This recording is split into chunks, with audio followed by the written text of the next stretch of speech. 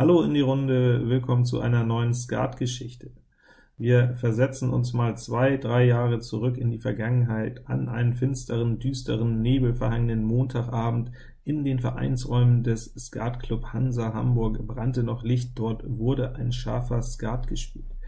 In dem Spiel, was ich euch hier mal zeigen möchte, sind die Hauptprotagonisten Fabian in Vorhand, Matthias in Mittelhand und Stefan in Hinterhand. Die Ausgangssituation stellte sich für Fabian wie folgt dar. Er hatte eine interessante Eingangskarte, 5 mal Pik, dreimal Herz, Ass, König, Dame und dann zwei blanke Zehner, also definitiv ein Blatt, was man gerne reizen möchte. Wenn der sechste Trumpf drin ist, wird es auf jeden Fall ein Riesenspiel. 20 Augen zu drücken ist immer ein Argument.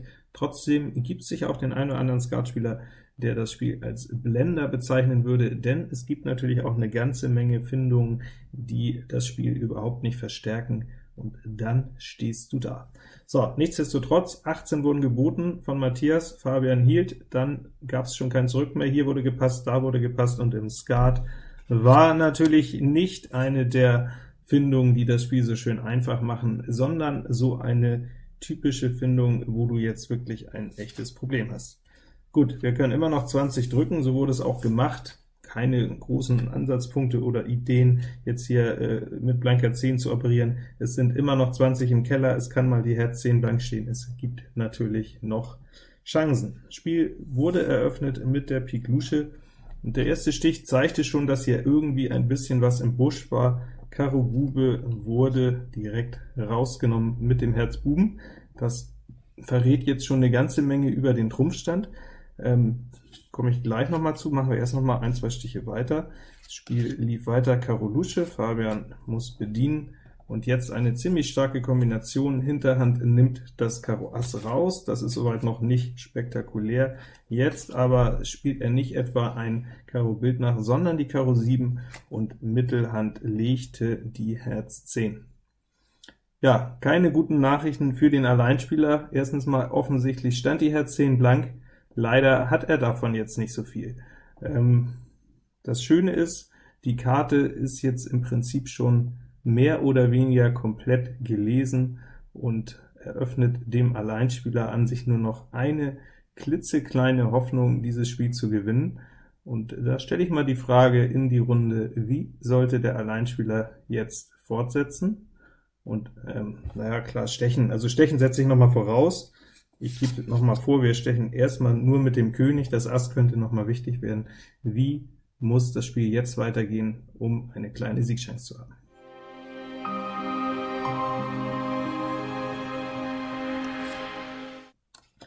Pausiert sonst gerne auch mal das Video.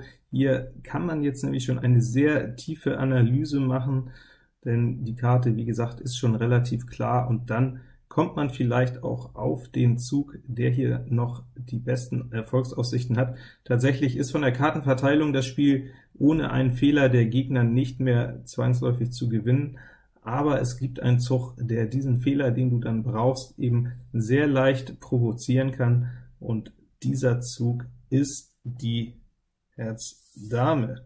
Die Herz Dame wurde auch gespielt und wurde gefunden, und jetzt gucken wir uns auch mal an, warum diese Herz Dame so gemein ist, was daran so äh, der Clou ist. Äh, äh, es ist ja, sagt, wie ich schon sagte, schon fast die gesamte Kartenverteilung klar. Der Spieler hier in Mittelhand hat logischerweise noch die beiden Herzluschen, er hat noch einen Buben, wahrscheinlich den Kreuzbuben, es könnte auch der Pikbube sein, er hat noch die beiden Karo-Bilder, das ist auch schon bekannt, insofern muss er noch genau zwei Kreuzkarten haben. Das könnten auch andere sein, das ist noch nicht ganz klar, welche Kreuzen es sind. Es ist aber definitiv so, dass das Spiel überhaupt nur noch dann gewonnen werden kann, wenn das Kreuz Ass hier bei Stefan sitzt. Herz Dame muss natürlich bedient werden. Und jetzt hat Stefan hier eine sehr unangenehme Situation. Wer würde denn jetzt ernsthaft mit diesen vier Trümpfen die drei Augen der Herz-Dame stechen wollen. Tatsächlich wäre Stechen hier der einzige Siegweg für die Alleinspieler, denn Fabian hatte durchkalkuliert, dass er noch einen, nachdem er jetzt 34 Augen liegen hat, einen Null-Augenstich machen wird im Zwischenspiel, wo er einsticht, dass er dann am Ende noch einen 25-Augenstich macht. Da hat er das Kreuz Ass, was er immer bekommt, eingerechnet und eins der Karo Bilder, und äh, 25 plus die 34 liegen, das sind erst 59, deswegen musste hier noch ein weiteres Stich her, ein Bild langt allerdings, und die Herz Dame, wir haben schon überlegt, nennen wir sie hier die vergiftete Herz Dame, oder nennen wir sie, nennen wir die Übung vielleicht die Herz Dame bitte zum Tanz. Vergiftet ist beim Schach immer so ein äh, Synonym dafür, dass eine Figur gerne genommen wird, und man hätte es besser nicht tun sollen. Hier ist es, verhält es sich genau umgekehrt die Herz-Dame zu stechen, wäre der richtige Siegzug für äh, die Gegenpartei gewesen. Sie würden dann immer gewinnen, selbst wenn das Kreuz Ass etwa danach angeboten wird. Es langt hier einfach nicht mehr. Ähm, könnt ihr mal die verschiedenen Wege durchspielen.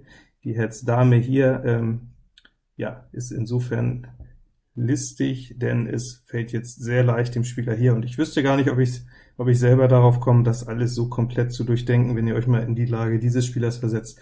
Es fällt hier sehr leicht, auf diese drei Augen erstmal die Kreuz Lusche fallen zu lassen. Danach war die Sequenz jetzt quasi im Kopf schon vorgegeben, wurde jetzt routiniert abgespielt. Es folgte das Herz Ass, Herz Ass, Herz Lusche. Jetzt gibt's natürlich keine Ausrede mehr zu stechen. Äh, Pik 10 ist eine Option. Ich zeige es jetzt hier trotzdem nur noch einmal, einmal mit der Pik Dame, damit klar wird auch, warum es so wichtig war, hier erst nur mit dem Pik König zu stechen. Jetzt bringt der Spieler natürlich hier nicht sein Kreuz Ass, er könnte etwa die Kreuz Dame bringen, die darf jetzt natürlich noch nicht gestochen werden, das sind dann zu wenig Augen. Es wird also einmal Herz abgeworfen, hinten Übernahme, und der Rückschub auf 0 Augen, der muss jetzt natürlich gestochen werden, sonst droht Überstich Kreuz Ass mit dem letzten Buben. Hier ist der vorgelebte, vorgedachte Null-Augenstich. Damit sind es immer noch 37, und jetzt kommt Trumpf raus, äh, Pik Lusche, und jetzt sehen wir auch, warum ist es so wichtig, noch nicht am Anfang mit dem Trumpf Ass zu stechen, wenn wir hier vertauschte Buben hätten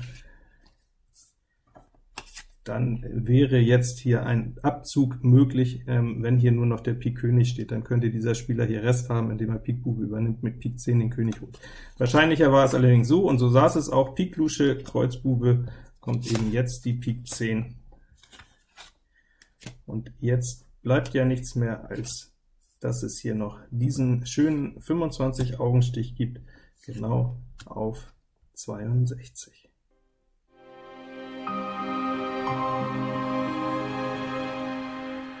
Bleibt mir noch zu sagen, Hut ab vor dieser sehr starken Leistung, im dritten Stich mit verdeckten Karten diese komplette Analyse durchzuführen, die Herz-Dame dann als aussichtsreichste Karte zu finden, danach das Spiel auf 62 Augen abzuwickeln. Ich weiß nicht, ob mir das gelungen wäre, sicher wenn, dann nur an einem sehr guten Tag, zeigt doch einmal mehr, wie komplex, wie anspruchsvoll das Spiel ist, wie tief es auch geht, und dass du immer, wenn es geht, ein paar Stiche in die Zukunft denken solltest. Dann bedanke ich mich bei allen Zuschauern, freue mich schon aufs nächste Video. Bis dahin wünsche ich euch wie immer gut Blatt.